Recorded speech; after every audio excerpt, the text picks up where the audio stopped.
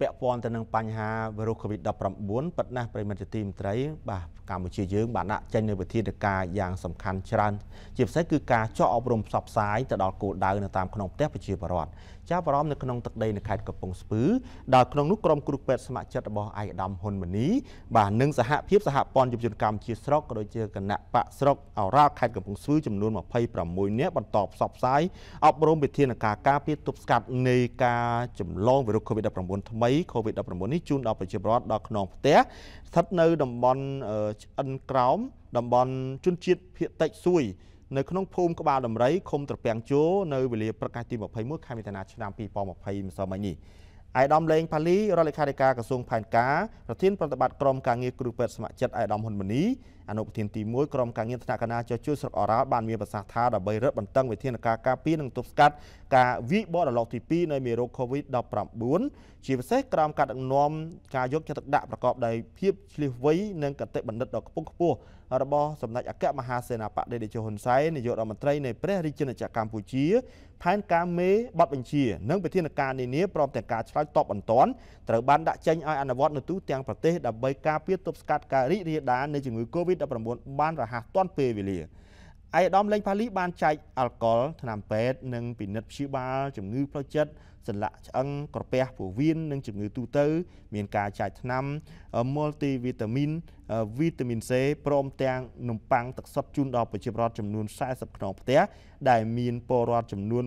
179នាក់ផងដែរ ទន្ទឹមនឹងនោះអនុប្រធានក្រុមការងារគ្រូពេទ្យស្ម័គ្រចិត្តឯកឧត្តមហ៊ុនម៉ាណីបានឲ្យដឹងទៀតថាក្រុមគ្រូពេទ្យស្ម័គ្រចិត្តឯកឧត្តមហ៊ុនម៉ាណីតែងតែចោះអប់រំបងប្អូនប្រជាពលរដ្ឋជាប្រចាំដោយមានការបង្ហាត់បង្រៀនជូនដល់បងប្អូនប្រជាពលរដ្ឋឲ្យមានការយល់ដឹងអំពីបញ្ហា COVID-19 រួមជាមួយនឹងវិធីសាស្ត្រនៃការធ្វើអនាម័យផងដែរប៉ុន្តែក្រុមគ្រូពេទ្យគឺមានភារកិច្ចទោះ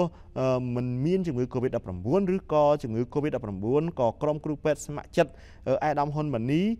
ចុះអប់រំពិនិត្យព្យាបាលជំងឺជូនដល់ប្រជាពលរដ្ឋនៅតាមក្នុងផ្ទះផងដែរ។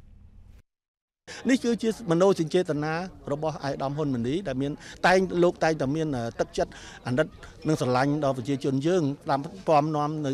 ទឹកចិត្តអាណិតនិងស្រឡាញ់ហ្នឹងហើយទើបលោកផ្ដាំផ្ដល់ឲ្យក្រុមគូពេទ្យយើងចុះមកសួរសុខទុក្ខអ្វីបាត់ថ្ងៃនេះជាថ្ងៃអាទិត្យដែលយើងសម្រាប់មន្ត្រីរាជការទាំងអស់សម្រាប់ពីការងារក៏ប៉ុន្តែយើងយកពេលវេលានេះយកមកជួបជុំប្រជាជនយើងដើម្បីចូលរួមទប់ស្កាត់ធ្វើម៉េចកុំឲ្យ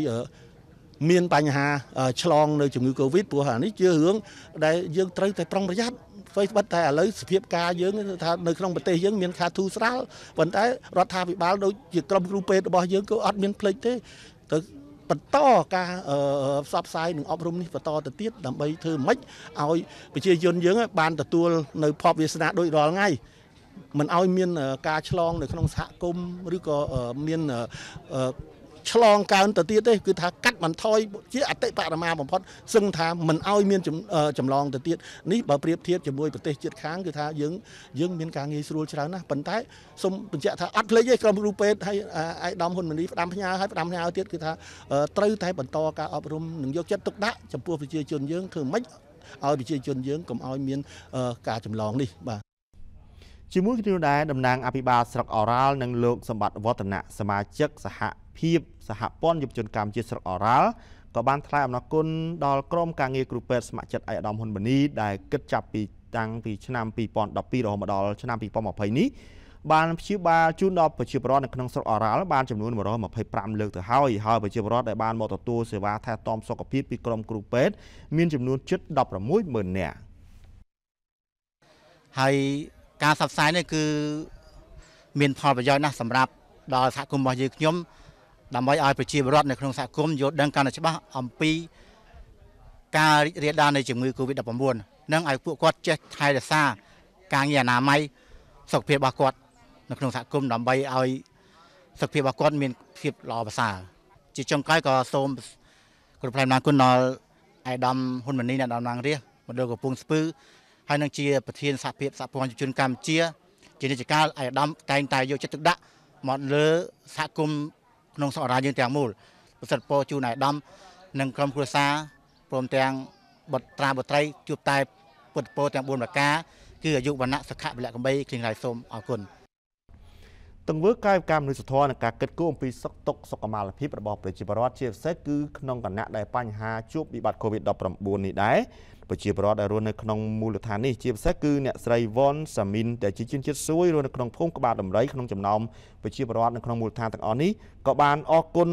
ជាទីបំផុតចំពោះក្រុមគ្រូពេទ្យស្ម័គ្រចិត្តឯកឧត្តមហ៊ុនម៉ាណីដែលបានខិតខំចុះមកពិនិត្យព្យាបាលក៏ដូចជាគិតគូរអំពីសុខុមាលភាពរបស់ប្រជាពលរដ្ឋហើយជាពិសេសទៅទៀតគឺចុះអប់រំពីវិធានការការពារទប់ស្កាត់នៃការចម្លងមេរោគ COVID-19 ជូនដល់សហគមន៍របស់ពួកគាត់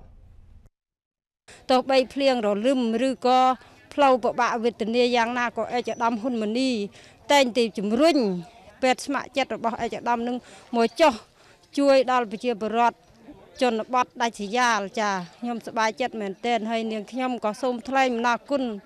ដល់អេចឧត្តមហ៊ុនម៉ាណីយ៉ាងជ្រាលជ្រៅស្មោះអស់ផ្ដួងចិត្តសូមវត្ថុស័ក្តិសិទ្ធិលើលោកតាមថែរក្សាគ្រប់ទិវារាត្រីហើយសូមជូនពរសម្ដេចអគ្គមហាសេនាបតីដេជោហ៊ុនសែន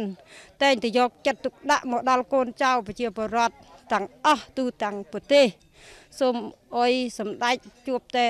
ព្រះប្រតាសទេថជួបពុទ្ធពរទាំងឡាយ4ប្រការអាយុវណ្ណៈសុខៈពលៈកបីឃ្លាតចាស់សូមជម្រាបជូនផងដែរថាអំណោយដ៏ថ្លៃថ្លារបស់ឯកឧត្តមហ៊ុនម៉ាណីតំណាងរាស្ត្រវ័យក្មេងនៃព្រះរាជាណាចក្រកម្ពុជាដែលបានក្រុមគ្រូពេទ្យស្ម័គ្រចិត្តឯកឧត្តមបានយកទៅចែកជូន នៅវេលាថ្ងៃទី21ខែមិថុនាម្សិលមិញនេះមានដូចជាជូនទៅដល់រដ្ឋបាលឃុំត្រពាំងជោរដ្ឋបាលប្រចាំការតំបន់ឆ្អិនក្រោមស្រុកអរ៉ាល់និងមណ្ឌលសុខភាពត្រពាំងជោប៉ុស្តិ៍សុខភាពប្រចាំការតំបន់ឆ្អិនក្រោមសម្រាប់ប្រើប្រាស់ដូចជា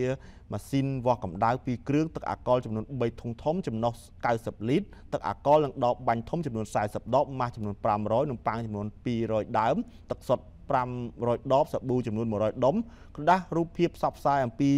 ការថែរក្សាអនាម័យនិងវិធីទប់ស្កាត់ COVID-19 មានចំនួន300សន្លឹក។